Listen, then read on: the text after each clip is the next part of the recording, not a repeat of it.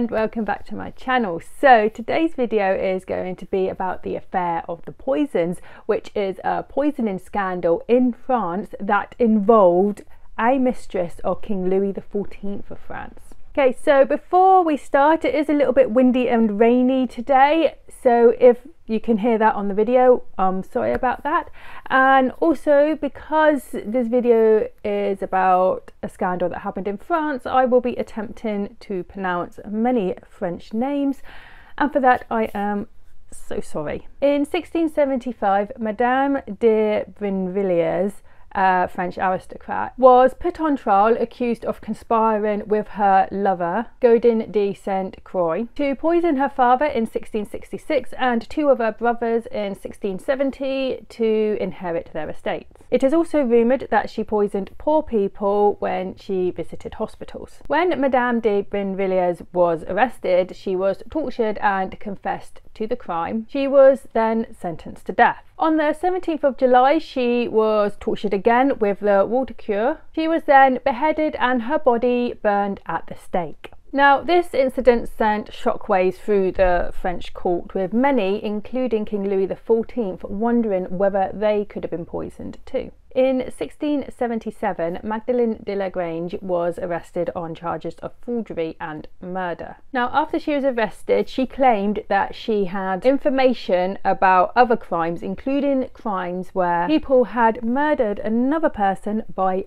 poisoning them. King Louis gave permission for Gabriel Nicolas de la Reynie, who was Lieutenant General of the Paris Police, to investigate this and to root out the poisoners. So a number of fortune tellers and alchemists were rounded up. They were suspected of selling divinations, aphrodisiacs, and inheritance potions, i.e., poisons. They were, of course, tortured and some confessed giving the names of their clients who had brought their poisons to get rid of their spouses or a rival at the royal courts. One of these people arrested was Catherine Deshayes Monvoisin, otherwise known as La Voisin. She had been arrested after her name was given by Marie Bosse, who was a poisoner, fortune teller, and an alleged witch. La Voisin was a fortune teller, commissioned poisoner, and a professional provider of sorcery. She was the head of a network of fortune tellers in Paris that provided poison, aphrodisiacs, abortion, magical services, and arranged black masses. And she had the rich and famous amongst her clients.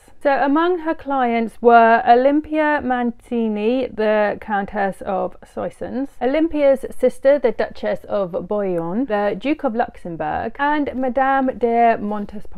So Madame de Montespan became Louis XIV's mistress in around 1667 and they had seven children together. She was his chief royal mistress. When questioned, La Voisin claimed that Madame de Montespan had come to her for help in gaining and keeping the king's love. Madame de Montespan had first visited La Voisin in 1665 and together they carried out special rituals that would create a special love potion for the king. They would pray to the devil for his help in securing the king's love, and to express their gratitude, they would sacrifice a newborn baby by slitting its throat with a knife.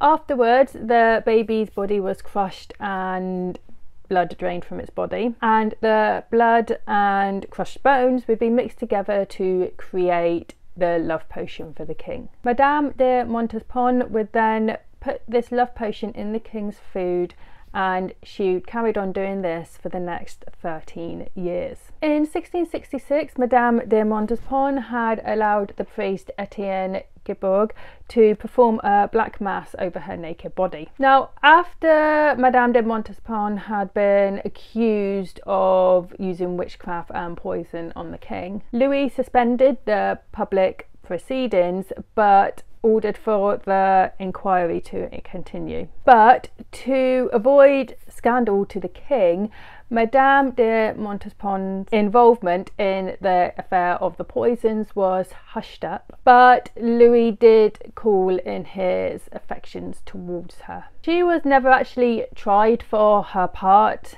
in the affair of the poisons, but in 1691, being out of favour with the king, she retired to a convent in Paris with a pension of half a million francs. La Voisin was sentenced to death for witchcraft and poisoning and was burnt at the stake on the 22nd of February 1680. 34 other people were sentenced to death during the trials for the affair of the poisons. Two people died in prison while several other courtiers were exiled. So that is the affair of the poisons and how a mistress of King Louis XIV of France ended up involved in it.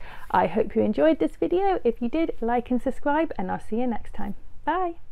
Música